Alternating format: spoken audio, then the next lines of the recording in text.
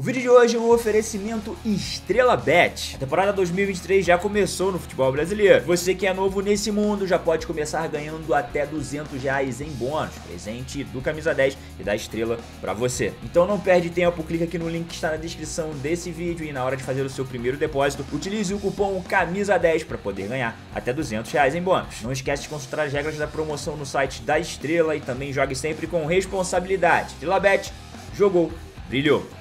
Thank you. Norte a sul em nosso país, os estaduais movimentam muita paixão pelo futebol e aquecem os motores para o início da nova temporada. O torneio traz a oportunidade para times que não aparecem tanto durante a temporada aparecer. Tem torcedor que está com um grito de campeão entalado na garganta, já que o jejum do seu clube é gigante. E por isso, no vídeo de hoje, a gente vai trazer para você os maiores jejuns dos campeonatos estaduais do Brasil. Meu nome é Alvin e bora pro vídeo. De hoje a meta de likes é de 500 likes para a gente poder continuar falando dos estaduais no Brasil Brasil inteiro. Começamos com o Campeonato Sul-Mato-Grossense. Tem o seu maior campeão por lá sendo o Operário, com 12 títulos até aqui, seguido pelo Comercial com 9. O atual campeão é o Operário e o maior jejum por lá é exatamente do Comercial, que não vence o estadual há 18 anos. A última vez foi em 2005. Próximo por aqui é o Campeonato Tocantinense e por lá o maior campeão é o Palmas com 8 títulos, seguido pelo time do Gurupi com 6. O Tocantinópolis é o atual bicampeão e o maior jejum é do União, que não vence há 29 anos, desde 1994, quando bateu o Tocantins nas finais com 5 a 0 no placar agregado. Agora temos o Campeonato Sergipano, que tem como seu maior campeão o Sergipe, com 37 títulos, seguido pelo Confiança, que tem 22. O Sergipe é o atual bicampeão por lá e o maior jejum é do América de Propriar, e não vence há 16 anos. A última vez foi em 2007, com campanha impecável perdendo apenas um jogo. Lá no Rondoniense, a bola rola desde 1945, mas a fase de profissionalização veio apenas em 1991. Contando desde sua fundação, o maior campeão por lá é o Ferroviário com 18 títulos. Mas contando apenas desde a profissionalização, o maior campeão é o Ji-Paraná com 9 títulos. O atual campeão é o Real Ariquemes e o maior jejum é do União Cacoalense, que não ganha há 19 anos, quando venceu em 2004 nas finais contra o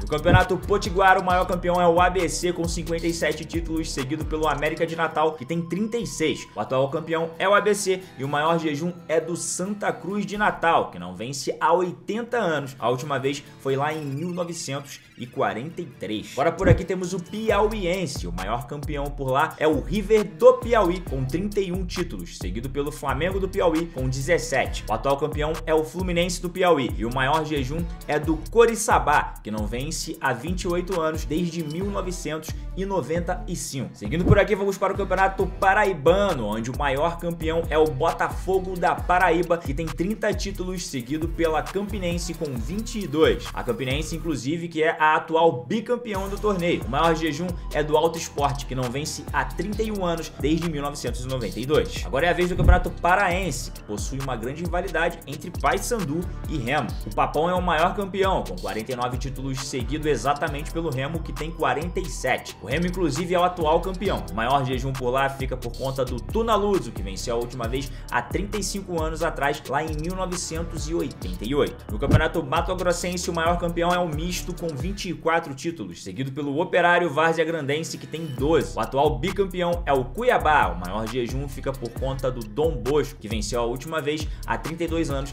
em 1991. O próximo campeonato por aqui é o Campeonato Maranhense, onde o maior campeão é o Sampaio Correia, com 36 títulos, seguido pelo Motoclube, que tem 26. O Sampaio Correia é o atual tricampeão do torneio e o Maranhão é quem tem o maior jejum e não vence há 10 anos, desde 2013. Seguimos com o Campeonato Capixaba, onde o maior campeão é o Rio Branco, que tem 37 títulos, seguido pela Desportiva Ferroviária, que tem 18. O Real Noroeste é o atual bicampeão e quem está há mais tempo na fila é o Estrela do Norte, que não vence há 9 anos, desde 2014. No Campeonato Brasiliense, o maior campeão é o Gama com 13 títulos, seguido pelo Brasiliense que tem 11. O Brasiliense, inclusive, que é o atual bicampeão. O maior jejum foi por conta do Brasília, que não vence há 36 anos, anos desde 1987. Já no campeonato amazonense, o maior campeão é o Nacional, que tem 43 títulos, seguido pelo Rio Negro com 17. O atual bicampeão é o Manaus e o maior jejum é do Rio Negro, que não vence há 22 anos, desde 2001. No campeonato alagoano, o maior campeão é o CSA com 40 títulos, seguido pelo CRB, que venceu 32 vezes. O CRB, que é o atual campeão, o maior jejum é do Murici, que não vence há 13 anos, desde o ano de 2010. E lá no campeonato acreano, o maior campeão é o Rio Branco com 48 títulos, seguido pelo Juventus,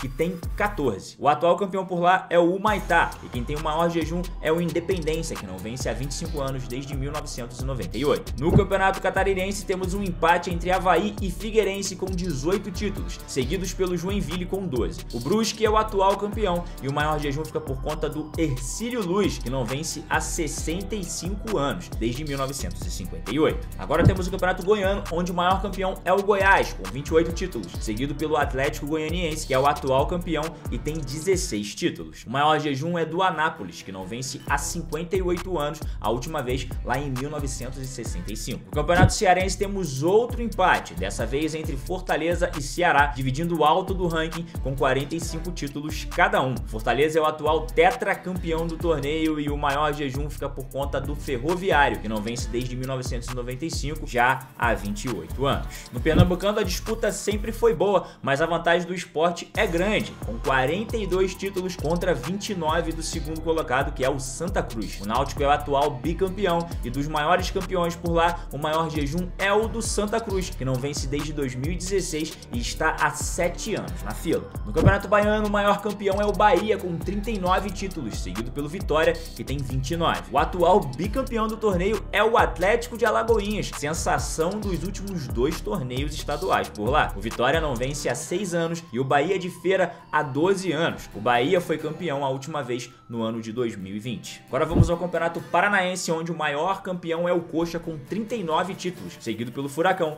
que tem 26. Curitiba é o atual campeão, enquanto para falar de jejum, temos o Londrina que não vence há dois anos, o Furacão que está há três anos sem vencer e o Operário que não ganha há oito anos desde 2015. Chegamos agora ao Campeonato Gaúcho, onde temos o maior de jejum do Brasil inteiro. O maior campeão por lá é o Internacional com 45 títulos, seguido pelo Grêmio, que tem 41. O Grêmio, inclusive, é o atual pentacampeão estadual. O Internacional não vence há 7 anos, enquanto o Caxias há 23 e o Juventude há 25 anos. Mas o recorde de jejum no Brasil fica por conta do Brasil de Pelotas, que não vence há 104 anos, desde a fundação do torneio lá em 1919. Agora temos o Campeonato Mineiro, onde o maior campeão é o Galo, que tem 47 títulos, seguido pelo Cruzeiro com 38. O Atlético Mineiro é o atual tricampeão, enquanto o Cruzeiro não vence há 4 anos. O América Mineiro não vence há 7 anos e o maior jejum por lá é do Vila Nova, que não vence há 72 anos